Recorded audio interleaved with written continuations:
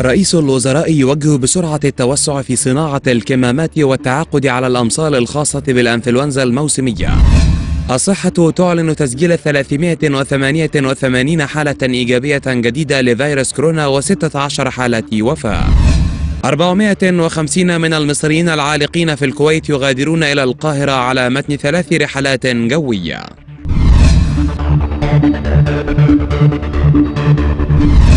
عقد رئيس مجلس الوزراء الدكتور مصطفى مدبولي اجتماعا صباح اليوم لمتابعة الموقف الطبي الحالي بشأن مجابهة فيروس كورونا وذلك بحضور المسؤولين المعنيين.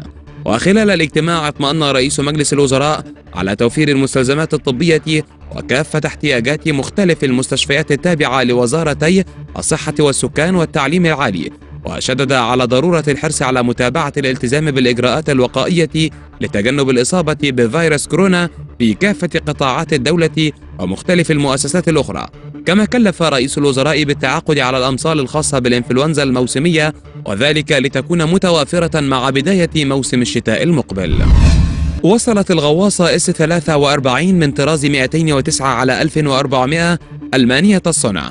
إلى قاعدة الإسكندرية البحرية قادمة من ميناء كيل بدولة ألمانيا المزيد في سياق التقرير التالي.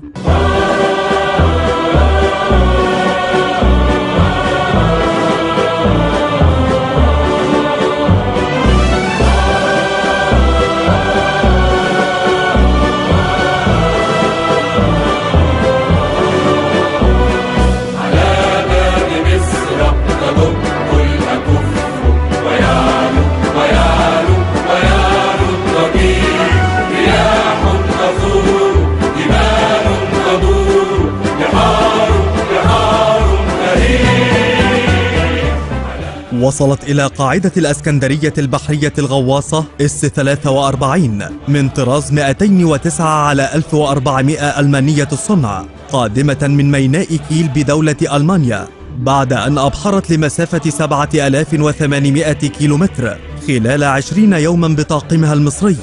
وتعد هذه الغواصة هي الثالثة من أصل أربع غواصات. تعاقدت عليها جمهورية مصر العربية عام 2014 تعزيزا لقدراتها الدفاعية وكفاءتها القتالية ولتحقيق الأمن البحري وحماية السواحل المصرية والمصالح الاقتصادية بين البحرين الأحمر والمتوسط. وذلك طبقا للبرنامج الزمني المحدد والذي يعكس عمق علاقات التعاون التي تربط بين القوات البحرية المصرية والألمانية وجهود القيادة السياسية ودعمها الجاد والقوي لدفع العلاقات بين البلدين في العديد من المجالات.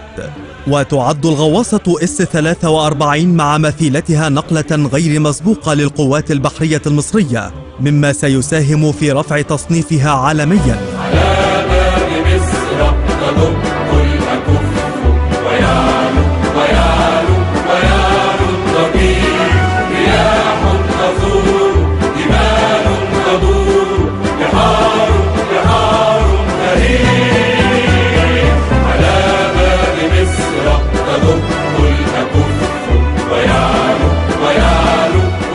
وتعتبر الغواصة من أحدث الطرازات الهجومية على مستوى العالم حيث لديها القدرة على إطلاق صواريخ مضادة للسفن كما أنها تقوم بزراعة الألغام البحرية واستهداف المواقع البرية الساحلية. ولها دور مهم في مرافقة وحماية حاملات الطائرات وتستطيع الإبحار لمسافة 11 ألف ميل بحري. وتبلغ سرعتها تحت الماء 40 كيلو مترا على الساعة وتغوص حتى عمق 500 متر تحت سطح الماء. وتضم الغواصة ثماني أنابيب توربيد ومخزنا يسع 14 توربيدا مزودة بأحدث أنظمة الملاحة والاتصالات.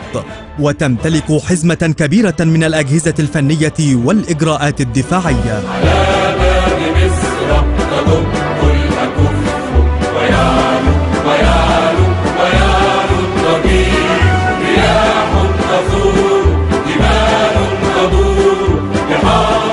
وأكد الفريق أحمد خالد قائد القوات البحرية في كلمته أثناء الاحتفال بوصول الغواصة إلى قاعدة الأسكندرية أن القوات البحرية سوف تظل على العهد دائما في حماية حدود وسواحل مصر ومصالحها الاقتصادية موجها الشكر إلى القيادة السياسية والقيادة العامة للقوات المسلحة على الجهود المبذولة في تحديث التسليح للقوات المسلحة المصرية وترساناتها البحرية.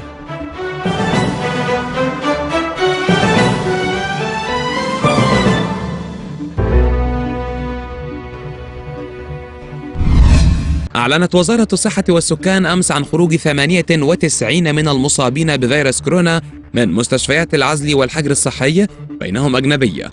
وذلك بعد تلقيهم الرعاية الطبية اللازمة وتمام شفائهم وفقا لإرشادات منظمة الصحة العالمية.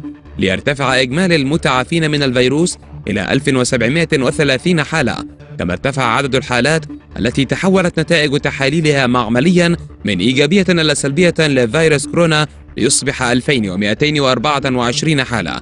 كما أوضح البيان أنه تم تسجيل 388 حالة جديدة ثبتت إيجابية تحاليلها معمليا للفيروس بالإضافة إلى وفاة 16 حالة جديدة.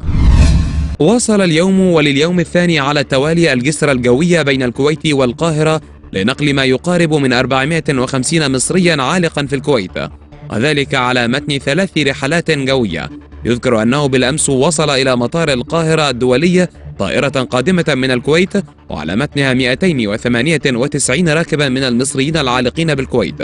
وذلك بعد توجيه الرئيس عبد الفتاح السيسي بسرعة عودة المصريين العالقين في الدول الخارجية مع إعطاء الأولوية للحالات الإنسانية والأطفال والمخالفين لشروط الإقامة.